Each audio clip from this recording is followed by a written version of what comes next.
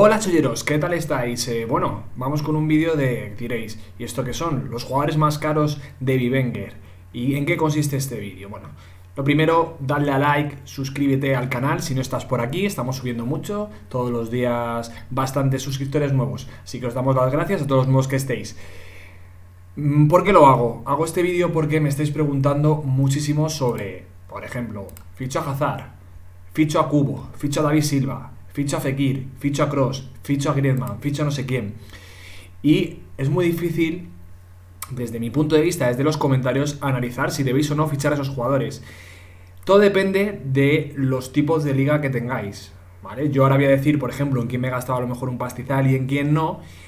Pero todo depende de los tipos de liga que tengáis. ¿Por qué? Porque tenemos la liga simple de a lo mejor 40 millones a repartir eh, durante, bueno, pues sin jugadores y pues es un suicidio a lo mejor gastarse 15 millones en un jugador y otros 10 en otro, porque apenas vais a tener para hacer un 11 competitivo. Y algo que es clave en esta jornada número 1 es generar un 11 competitivo. También depende de cuántos seáis en la liga, porque suicidarse fichando a jugadores tops cuando a lo mejor sois ligas de 4 o 5 personas no tiene tampoco sentido, porque ya tendréis tiempo para ficharlo cuando tengáis dinero. Entonces, yo siempre recomiendo mucho especular. Evidentemente, jugadores tops tenemos que tener y sobre todo tenemos que tener en el futuro. al principio a lo mejor, si empezáis con ligas con poca pasta, no son tan necesarios, es más necesarios jugadores a lo mejor que valen 2 millones, 3 millones, que nos puedan puntuar bastante bien para poder luego ir especulando que suban de precio, venderlos o que con el precio, con, el, con las primas que tenemos, podamos ir rellenando con nuestro equipo con futuras estrellas. Entonces, bueno, me gustaría, bueno, quería hacer este vídeo más que nada por, ir aclarando casos, evidentemente. Eh, a mí yo ahora mismo tengo mucho miedo. Por ejemplo, antes de hablar de los jugadores más caros, vamos a poner el caso del Sevilla, ¿vale? Porque hay jugadores en el Sevilla, como Diego Carlos o como Cundé, que son indiscutibles, como Campos si se queda, que va a ser indiscutible, Sergio Navas en ese, esto Jesús eh, Navas en ese eh, lateral derecho, pero luego nos encontramos ahora que en medio campo tenemos un batiburrillo brutal. Porque está Fernando Reyes, está Jordán, está Oscar Rodríguez, tenemos a Suso también, tenemos a Oliver Torres, Roque Mesa, el Mudo Vázquez, eh, Gudel también le tenemos y también va a llegar Rakitic. Entonces, eh, es complicado, ¿por qué? Porque van a rotar muy a menudo. También, volvemos a repetir lo que os repito siempre, liga de eh, con 5 cambios, con lo cual muchos jugadores a lo mejor juegan 15, 20 minutos y nos puntúan pero que tengamos precaución, que evidentemente gente como Oscar Rodríguez no va a subir de precio porque es un nuevo fichaje y porque seguramente haga buenas actuaciones.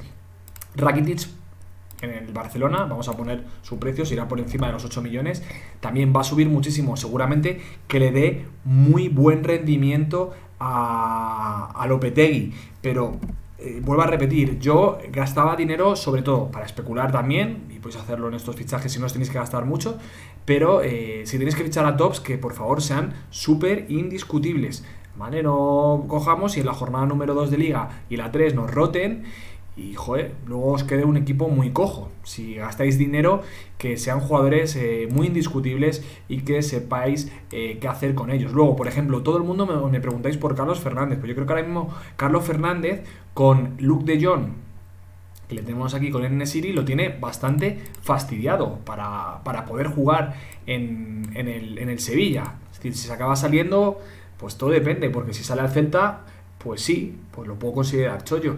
Pero si se va fuera, por ejemplo, a Portugal, pues no tanto. Entonces es complicado. Otro de los equipos que para mí eh, son complejos a día de hoy es el Real Madrid, porque el Real Madrid con Zinedine Zidane, teniendo también Europa de por medio, va a haber muchas rotaciones. Entonces, por ejemplo, Eden Hazard está subiendo 90.000, ¿vale? Si me dices que lo fichas por el mínimo y lo vendéis luego en 16 millones, bien. Pero si no, estos 14 millones, inténtalo repartir entre 4 o 5 jugadores. Lo que os he dicho en vídeos anteriores, salvo catástrofe, la temporada no puede ser peor que la anterior, esta temporada. Pero para que me vaya rotando. Luego, por ejemplo, el esquema del Madrid, yo soy del Real Madrid y veremos a ver si un 4-4-2, un 4-3-3. Tenemos alternativas, Casemiro, Cross, Modric, también la entrada de Valverde, que pueda jugar arriba Asensio, que pueda jugar Odegar, Hazard, Vinicius, Rodrigo, Benzema, Jovic, Ceballos, que no sabemos si va a salir o no, está bajando a 150.000. Luego, caso Mendy, Marcelo. Algún día jugará Marcelo, no jugará Mendy. Entonces, gastarse a Fede Valverde 7.150.000, gastarse 7.150.000 en un jugador que a lo mejor nos juega 10 minutos la primera jornada es un suicidio. Luego, gente como Isco está muy barata, pero evidentemente el nivel demostrado en las últimas temporadas está siendo muy malo en estas dos últimas temporadas y da miedo ficharlo. Luego ves, por ejemplo, yo lo de Luca Modric lo entiendo. ¿Y por qué? Porque eh, la pasada temporada sí se le exprimió mucho en esos últimos partidos eh, a puerta cerrada, pero que este año pues le tendremos que dosificar mucho más. Eh, sigue la salida, la subida de Mayoral, pues sí que es entendible. Y que Rodrigo Góez es también un ojito derecho de Zidane. Luego veis gente como Lucas Vázquez, que también le acaba poniendo si no sale del Real Madrid y está barato. Entonces son, son equipos que, bueno, pues que tienen mucha gente ahí y que pueden rotar en cualquier momento. Y esas rotaciones, aparte de que el Madrid no juega hasta la jornada 2 y que el Barcelona Atlético Madrid y el Sevilla no juegan hasta esa jornada 3, ahí me tiran muy para atrás de fichar tops entre ellos. El calendario hoy se va a sortear a las seis y media, pero bueno, ya sabe que la jornada 1 eh, pues va a estar el Elche, el Sevilla, el Real Madrid, el Atlético Madrid, el Barcelona. Van a ser entre esos clubes para que, bueno, pues la jornada 1 no afecte a más de 14 equipos. Tiene su lógica, porque si no, a lo mejor nos encontraríamos con tan solo 8 equipos jugando. Y bueno, por ejemplo, los fichajes más caros que podéis hacer. Messi, evidentemente lo de Messi no lo podemos tocar. Benzema puntuó muy bien el año pasado, pero son 20 millonacos. Es decir, 20 millones. Sí que a priori es súper indiscutible, pero ya Benzema cada vez tiene más años y este año seguramente le dé alternativa a Jovic. Le, tiene que dar la alternativa algún día a porque no puede estar jugando toda la liga y toda Europa.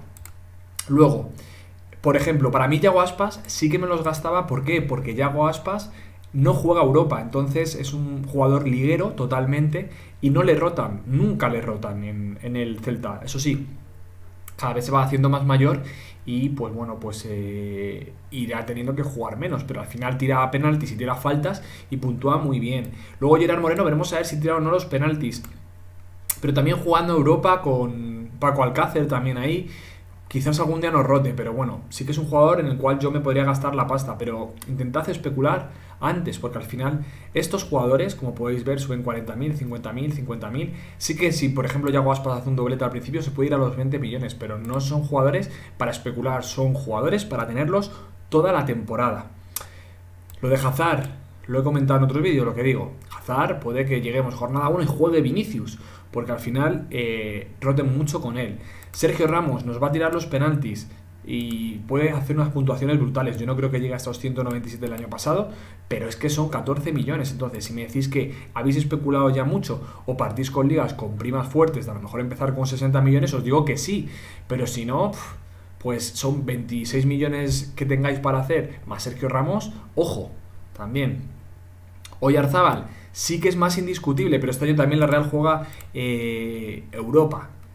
Pero bueno, por ejemplo, Oyarzabal nos tira también los penaltis. Lo puede hacer muy bien. Al final podéis ver que Sergio Ramos hizo una temporada excepcional y tan solo le sacó 5 puntos a Oyarzábal. Parejo, bueno, veremos a ver si tira uno los penaltis con lo de Gerard Moreno, pero tira también las faltas. Pero ojito también a esas posibles rotaciones en el Villarreal. Como podéis ver, estos jugadores tan caros están muy estancados en el precio, no están pegando mucho subidón. Lo mismo, Casemiro el año pasado una temporada brutal, 210.000, pero es que son 11 millones y medio, es que están muy caros. Entonces, si habéis empezado hace poco, tenéis que tener cuidados. Luego, gente como David Silva, yo he dicho que su precio me parece exagerado porque con 34 años que tiene y jugando la Real Sociedad de Europa, creo que más de un día nos vamos a coger y quedar con la boca abierta porque va a rotar. Porque va a rotar, porque a lo mejor prefieren ponerle en Europa, porque necesita rotar y necesita descansar. Y entonces, pues nos fastidie. Eso sí, a día de hoy me, me preguntéis alguno, ¿vendemos o no a Silvas, que está subiendo 200.000 cada día? Mientras pegue esos subidones, es una, rota, es una especulación buenísima que, bueno, aunque tengáis ese dinero fijo en Silva, a lo mejor cuando vendáis habéis ganado 2 o 3 millones y los podéis invertir bastante mejor cuando vuestros compañeros de liga estén pelados, porque esa es otra. Vosotros tenéis que administrar bien el dinero, pero os tenéis que fijar en lo que hacen el resto de usuarios. Si el resto de usuarios está gastando mucho ahora, puede que dentro de 10 días, aunque haya subido el mercado, os encontréis y podéis fichar alguna ganga. ¿Ok? Luego, Griezmann, por ejemplo, ahora mismo, pues sí es recomendable esa salida de de Messi y de Luis Suárez, si salen al final del Barça, hace que suba un montonazo de precio, aunque a mí no me da una fiabilidad, porque va a caer todo sobre él. Eh, partido medio bueno o gris que haga, le van a mm, dar con el látigo en las puntuaciones, como pasaba el año pasado, y me da un poquito de miedo. Luego, Tony Cross, por ejemplo, para los que jugáis estadísticas, sí, pero si jugáis a picas de diario as, no es un jugador que puntúe excepcionalmente, entonces me parece mucha pasta. Joao Félix tampoco sabemos si va a ser titular o no, pero es que esta subida ahora mismo pues sí que me hace recomendarlo, pero puede ser un jugador que cuando valga 13 millones le tengamos que dar eh, salida. Eh, Taque Cubo igual, no es indiscutible, el Villarreal juega Europa, entonces puede que algún día nos quedamos con cara de tontos ya se empieza a notar y empieza a, subir menos, porque bueno, el año pasado hizo una buena temporada en el Mallorca, pero bueno, este año yo también creo que la va a hacer, pero que tengáis mucho cuidado con estos precios, son brutales. Nabil Fekir, aquí recomiendo, ¿por qué? Porque al final el Betis no juega Europa, otro nos quedamos como con aspas, entonces lo va a jugar absolutamente todo. El año pasado tuvo una temporada mm, con muchas sombras y 141 puntos, con lo cual este año yo creo que va a mejorarla. Eh, luego Jesús Navas, pese a su edad, el año pasado es que no rotaba nada, entonces este año tampoco lo veo tanto. Luego casos como el de Marcos Llorente, que lo hizo muy bien al final de temporada y que puede acompañar a ese punta, como pueda ser eh, pues eh, Morata, Diego Costa o bueno, Joao Félix, que también puede jugar ahí más escora a banda. Pero es mucha pasta, 8.650.000 con esas posibles rotaciones y lo que tiene el Atlético de Madrid. Lo del caso de Odegar igual. Al final puede hacerlo muy bien, puede hacer partidos brutales. Pero es que sin ser titular indiscutible es muy complicado y no es recomendable gastarse tanto dinero. Eh, Pjanic, igual, yo lo dije el otro día y me dijeron, es que va a ser indiscutible, sí, pero es que es mucha pasta y veremos a ver el Barcelona de Kuman cómo funciona, porque es que no sabemos el Barcelona de Kuman no tiene ninguna de bases. El Chimi Ávila también me preguntan, eh, ¿crees que va a estar al nivel de antes de la lesión? Evidentemente es casi imposible que coja ese nivel desde el principio. Pero subiendo 250.000 y siendo indiscutible en Osasuna, evidentemente y con mucho gol que tiene, lo recomiendo. Raúl García, este es su precio, es decir, siempre está entre 8 millones y 10 millones. Va a tirar los penaltis y, y va a hacer muchos goles. El año pasado marcó hasta 14. Eso sí, este año, ojo, que es delantero. Y seguimos, por ejemplo, Cundé, muy bien al final de temporada, pero cuesta lo que cuesta. Si lo ficháis, que lo podéis hacer perfectamente, pues tendréis 33 millones menos para fichar, 32 millones y medio. O Black es una auténtica pasada porque no le suelen puntuar tampoco muy, bien, entonces para mí no es recomendable. Y Asensio, por ejemplo, es otro de los que me puedo equivocar y juegue la, la jornada 1 y 2 y 3 de titular, podría hacerlo. Pero es que sin ser titular indiscutible, 7.960.000 me parece una pasada. Un jugador que mete goles, pero tiene una posición delantero, pero no es un goleador nato. Entonces yo me lo gastaba más en otros jugadores. Por ejemplo, Jaime Mata, ¿vale? Este año Getafe, aunque sí que está fichando bastantes delanteros, con Cucho, con Munal.